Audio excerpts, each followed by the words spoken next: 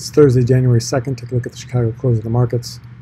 S&P was up 28 and three quarters. Um, Nasdaq is up even higher, 140, over one and a half percent there. Real big move. Um, Italian stocks are up uh, one and three quarter percent. In the fixed income markets, bonds were up uh, three quarters of a point.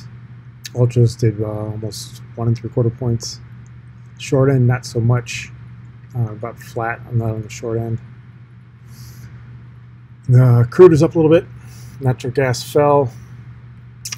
And uh, gold, silver, copper, palladium, everything was up in the metals pretty much. Uh, down in energies, actually Bitcoin first. Bitcoin was lower by about 3.5%, 262. FX dollar index was higher. And um, peso actually got a nice little gain too. That kind of covers the markets for the day.